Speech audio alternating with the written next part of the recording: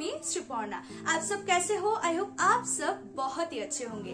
Once again I am gonna share a sports theme cake design with you guys I know कि मेरे पास बहुत सारे sports theme cake का order आता है और स्पेशली फुटबॉल थीम केक के ऊपर। पर मैं हमेशा ट्राई करती हूँ कुछ नया करने की ताकि आपको भी नए नए डिज़ाइन के आइडियाज़ मिलते रहे। वीडियो में जाने से पहले जो मेरे चैनल पर नए हैं वेलकम टू माय चैनल अगर आपको मेरा वर्क अच्छा लग रहा है देन प्लीज़ चैनल को सब्सक्राइब करके मेरी ये छोटी सी वाइटी फैमिली के साथ झटपट से जुड़ जाए इट्स सिंपल एंड फ्री और अगर आज की केक की डिज़ाइन आप सबको पसंद आती है देन प्लीज़ वीडियो को लाइक कर दीजिए कमेंट कर दीजिए और चैनल को सब्सक्राइब करना मत भूलिए। Without any further ado let's get started आज के केक के फ्लेवर है चॉकलेट और मुझे इसको अंडर डेढ़ पाउंड बनाना है, यानी कि इसके टोटल वेट होगी 750 ग्राम्स के बराबर। और केक की पिक मुझे पहले भेज दिया गया था, उसको देख के ही मैंने इसको एक स्क्वायर टिन के अंदर बेक किया है। वैसे तो चॉकलेट केक की एक लेस विथ एक दोनों वर्जन में ही रेसिपी मेरे चैनल पर ऑलरेडी अपलोडेड है। दोनों रेसिपी से बहुत yummy spongy and moist cake बनता है। आप दोनों में से कोई भी एक को फॉलो करके इस केक को बना सकते हो। लिंक मैं डाल दूँगी। दूसरे केक से चॉकलेट केक थोड़ा सा ज़्यादा ड्राई होता है, इस वजह से इसको अच्छे से सोक करना भी बहुत ज़रूरी है। तो मैंने इसको नॉर्मल शुगर सिरप से ही सोक कर दिया है। अगर आप चाहो इसको चेरी वाटर से भी सोक कर सकते हो, या फिर कॉफ़ी सिरप से भी आप सोक कर सकते हो। आज के केक के लिए मैंने नॉर्मल शुगर वाटर ही लिया है। अब इसके ऊपर मैंने डाल दिया है चॉकलेट गनाश। अब ये स्टेप ना ऑप्शनल है, आप कर भी सकते हो, स्किप भी कर सकते हो, मगर करने से इस केक का जो टेस्ट है वो डबल हो जाएगा। तो चॉकलेट गनाश को मैंने जस्ट डार्क कंपाउंड के साथ व्हिप्ड क्रीम को मिक्स कर दिया है, क्योंकि मेरे पास उस टाइम घर पे फ्रेश क्रीम नहीं था। व्हिप्ड क्रीम से भी बहुत अच्छी तरह से गनाश बन जाता है। जब मैंने टॉट केक बनाया था, उस वाले वीडियो में मैंने सब कुछ इन डिटेल शेयर किया हुआ है। कैसे चॉकलेट स्पॉन्ज बनाया जाता है, कैसे चॉकलेट क्रीम बनाते हैं, कॉफ़ी सिरप से कैसे केक को सोक किया जाता है, कैसे चॉकलेट गनाश बनाया जाता है विदाउट एनी फ्रेश क्रीम सब कुछ मैंने इन डिटेल शेयर किया हुआ है। अगर आप चॉकलेट केक को बेकरी से भी बेहतर बनाना चाहते हो तो वो वाली वीडियो आपकी बहुत काम पे आने वाली है। तो वीडियो को एंड तक ज़रूर देखिए। उस वीडियो की लिंक मैं डाल दूँगी डिस्क्रिप्शन बॉक्स पे। टेक्निकली मैंने इस केक पे चॉकलेट गनाश का दोनों लेयर यूज़ किया है। एक दिया है मैंने स्पॉन्ज के ऊपर और दूसरा वाला दिया है क्रीम के ऊपर। इससे टेस्ट तो बहुत अच्छा आता है। एकदम चॉकलेटी चॉकलेटी हो जाता है सब कुछ, मगर वेट भी बढ़ जाती है। अगर आपको कम वेट में चॉकलेट केक बनाना है देन आप सिर्फ़ चॉकलेट गनाश का एक ही लेयर यूज़ किया करो। साथ में मैंने चॉको चिप्स भी डाल दिया है और ऐसे मैंने फुल केक को थोड़ी सी क्रीम लगा के क्रम कोट भी कर दिया है। तो आप देख ही सकते हो, मैंने यहाँ पर एक गलती कर दिया था। मैंने विदाउट चॉकलेट गनाशी क्रीम लगा दिया था, इसलिए मैंने क्रीम को रिमूव किया और फिर से मैंने गनाश को अप्लाई किया है। अच्छा ये सब गलती ना सिर्फ़ क्या मेरे साथ ही होता है? मुझे पता नहीं।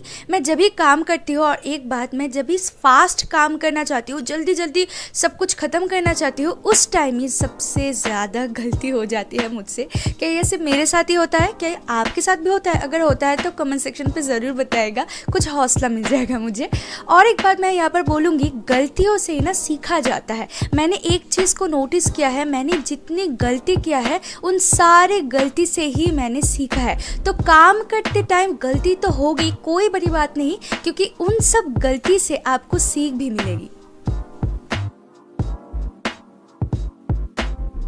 प्लेग्राउंड को हमें रेक्टेंगल बनाना है, इसलिए एक साइड से मैंने केक को कट किया और दूसरे साइड में मैंने इसको ज्वाइन कर दिया है ताकि ये जो स्क्वायर लुक है, एक रेक्टेंगल में चेंज हो जाए। अच्छा यहाँ पर आप सबसे पहले मैं ही बोल देती हूँ, जब केक को हम कट करते हैं और दूसरे साइड में स्टिक करते हैं, हाथ से काम बहुत अच्छा होता है इस वाले स्टेप में। स्पैचुला से इतनी ग्रिप ही नहीं आती कि आपको केक को होल्ड करना है, फिर अटैच करना है, हाथ is best in this kind of thing हाँ अगर आपके पास ग्लव्स हो तो बहुत बढ़िया, मेरे पास तो नहीं थे, इसलिए मैंने हाथ धो के ही यूज़ किया है। तो ये वाली बात मैं पहले ही बोल देती हूँ, क्योंकि आई थिंक कमेंट सेक्शन पे कोई कोई बोल भी सकता है कि you don't have any hygiene why you are using your hand and all तो इसलिए मैंने पहले ही साफ़ साफ़ बोल दिया है। फाइनल कोटिंग से पहले मैंने इसको एक लंबे समय तक रेफ्रिजरेटर में सेट कर दिया था ताकि कट की हुई पोर्शन एक दूसरे से अच्छी तरह से अटैच हो जाए, नहीं तो फाइनल कोटिंग के टाइम ना ब्लंडर हो सकती थी। अच्छा अब हमें इसको फाइनल कोट करना है, इसलिए मैंने यहाँ पर वाइट कलर की व्हिप क्रीम लिया है, यानी कि नॉर्मल जो क्रीम मैंने ले लिया है पाइपिंग बैग के अंदर, और चारों साइड्स में मैं इसको पाइपिंग बैग की हेल्प से ही लगा दूँगी, ऊपर वाले पार्ट में मैं नहीं लगाऊँगी। अगर आपको सच जानना है बेकिंग के बारे में तो मैं हूँ आपको बोलने के लिए। स्क्वायर केक को फिनिशिंग देना बहुत ही पेशेंस की बात होती है। ये राउंड केक की तरह नहीं होती कि झपाझप से फिनिशिंग चली आती है टर्न टेबल को घुमाया और काम हो गया, बस। नहीं।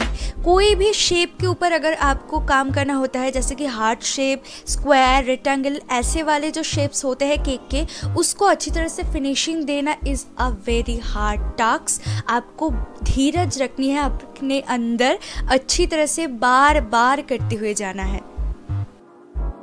अच्छा अब केक के टॉप पार्ट के लिए मैंने लिया है ग्रीन कलर की क्रीम को, जिसको मैंने two drop green gel colour के साथ one drop yellow gel colour को मिक्स करके बनाया है। अगर आप चाहो, सिर्फ़ ग्रीन कलर को भी यूज़ कर ही सकते हो, मगर मुझे लग रहा था ये वाला कलर ना फुटबॉल फ़ील्ड के साथ ज़्यादा मैच हो रहा है, इसलिए मैंने इसको यूज़ किया है।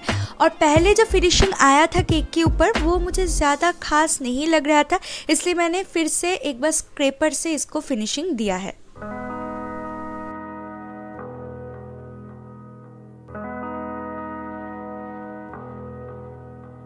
मैंने लिया है एक क्लोस्टार नोज़ल जिसको मैंने रॉ मेटेरियल शॉप से परचेस किया था, इसलिए इसकी लिंक मैं नहीं दे पाऊँगी। और इसके साथ ही मैं एक सिंपल सा डिज़ाइन के ऊपर केक की बॉर्डर बनाऊँगी और सेम ग्रीन कलर को ही मैंने यहाँ पर यूज़ किया है।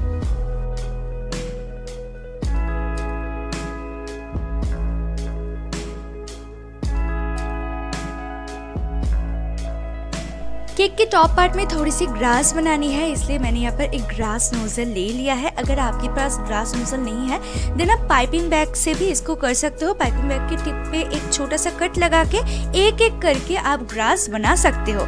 मगर हाँ सच बताओ तो ग्रास नोज़ल अगर आपके पास होता है तो काम फास्ट होता है और साथ में डिज़ाइन भी खूबसूरत बनते हैं।